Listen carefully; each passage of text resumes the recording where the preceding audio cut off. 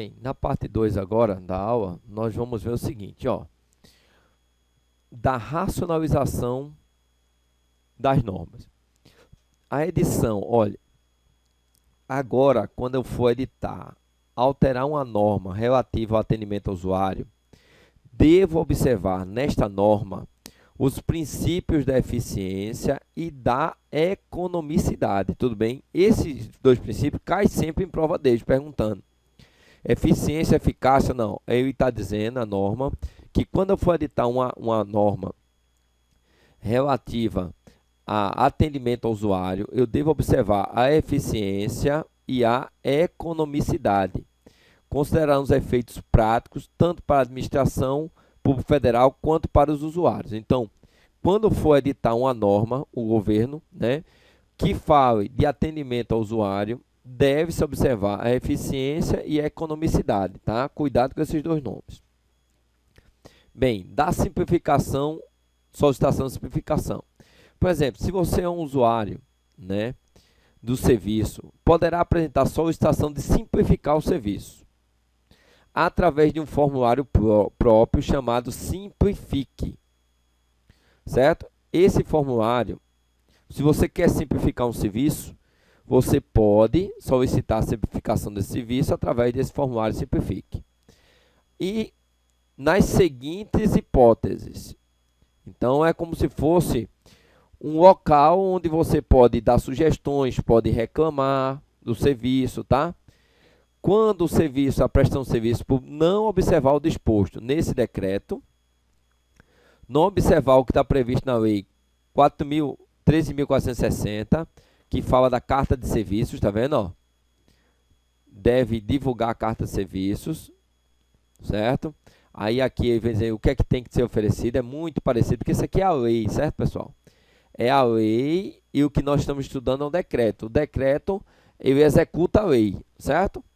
Então aqui é a lei, então se tiver contrário à lei, eu posso dar um, fazer um simplifique.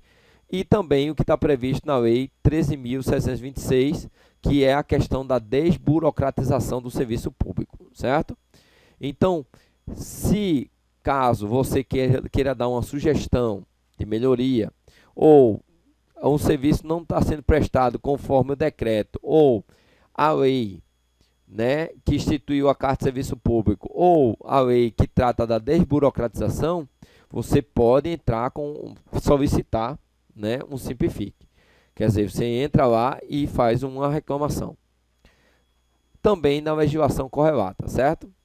Sempre também que vislumbra oportunidade de simplificação e melhoria.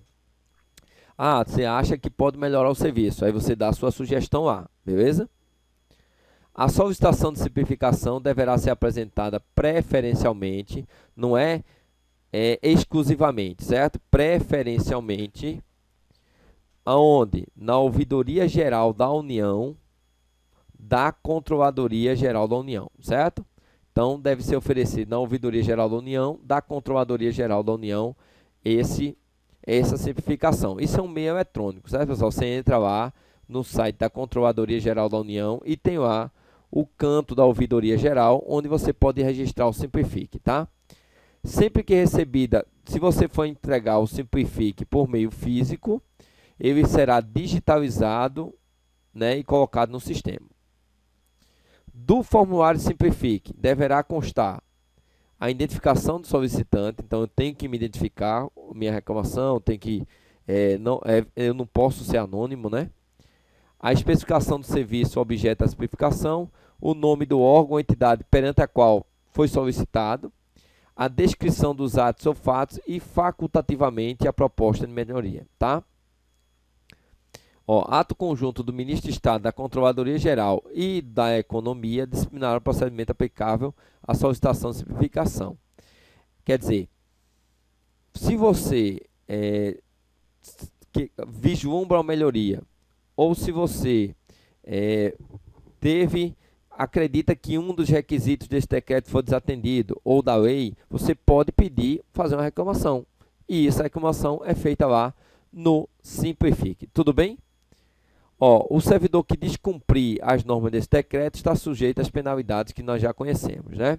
Penalidades administrativas, civis e penais. tá? Divulgação da carta de serviço.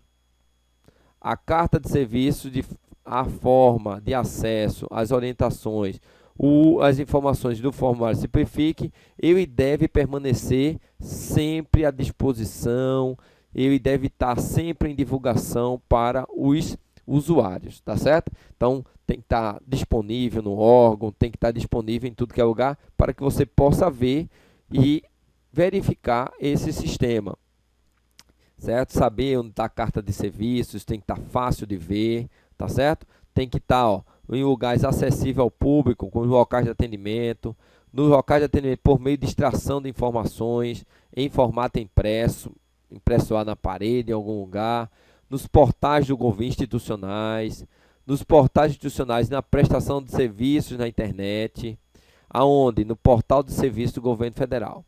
No portal de serviço do governo federal, certo?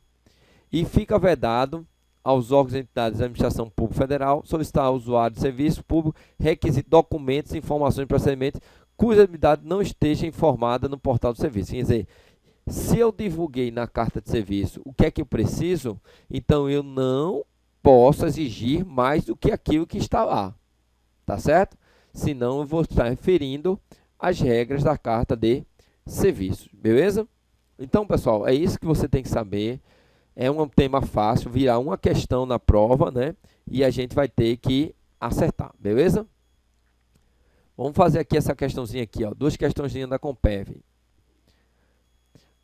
Um importante instrumento de gestão, um importante instrumento de gestão é cadê, cadê? Vamos lá. Importante instrumento de gestão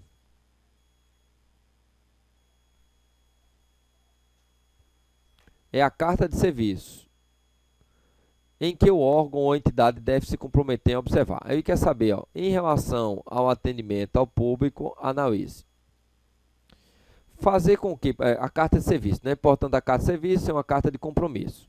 Em relação ao atendimento ao público, a carta de serviço estabelece algumas diretrizes. Fazer com que o cidadão receba alternativas de atendimento menos prejudiciais, especialmente em situações de, de emergência, no caso, sim. Quer dizer, a carta de serviço vai estar prevendo todas as situações, ou boa parte das situações que possa acontecer. Em caso de é, o sistema não está funcionando, o que é que eu tenho que fazer? Certo? Ah, o posto de atendimento fechou, o que é que eu tenho que fazer? Então, isso vai estar tudo na carta de serviço. Garantir o fácil acesso, a disponibilidade a visibilidade dos requisitos necessários à boa prestação de determinado serviço? Correto. Tá certo também, todas as duas. Observar rigorosamente a ordem de chegada dos usuários do serviço Independentemente do público, não.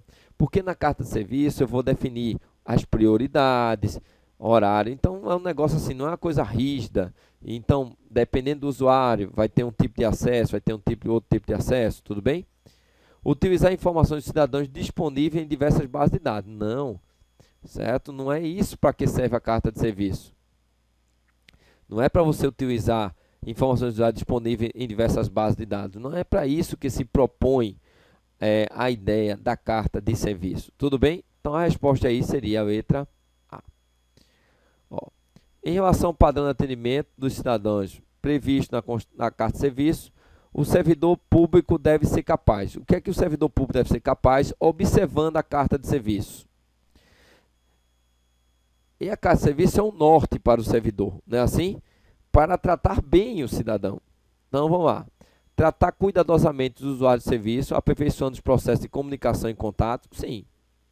Passar uma informação imprecisa? Não. Modificar a qualidade do atendimento em função da característica do cidadão? Não. Prestar um atendimento baseado na concessão da informação correta, independente da forma? Não. Então, é baseado na informação correta? É, mas tem na carta de serviço como essa forma tem que ser transmitida, beleza? Então, a resposta aí seria a letra Bem, pessoal, aqui nessas questões você vai marcar certo ou errado, baseado na lei. Isso é uma forma de você reler de novo, né? A, a, a lei, tá? Então, e na última prova da Compev caiu a questão 15 aqui, ó. Caiu essa questão 15, certo? Caiu a questão 15. que nós vamos fazer? Ó, a carta de serviço ao usuário deve ser elaborada por todos os órgãos da administração pública? Não. A carta de serviço, segundo o decreto, é elaborada pelo Poder Executivo Federal. Tudo bem? Segundo o decreto, tá certo? Nada impede que estados e municípios editem seus decretos e elaborem suas cartas de serviço. As exigências para que o requerimento seja feito pelo usuário serão apresentadas ao interessado desde logo e de uma só vez está correto, né? Então, qualquer exigência, ela vai ser feita é, de uma só vez, para evitar que o usuário vá, volte, vá, volte, certo? Essa é uma exigência da norma. A carta de serviço ao usuário deve conter as etapas para o processamento do, do serviço, bem como o respectivo prazo, correto? A edição e alteração de normas relativas ao atendimento do usuário observando o princípio da legalidade e eficiência, não. A gente viu que é da eficiência e da economicidade, né? Sim? Então a resposta é a letra C. Olha só essa questão interessante. Ó. Quais são as premissas da carta de serviço? É o que? Controle social do serviço e cidadão. Então a resposta seria a letra D. Foco no cidadão e no controle social, beleza? Então, ficamos por aqui, é um tema tranquilo, refaçam as questões e estamos aqui para tirar qualquer dúvida, beleza? Então, até a próxima.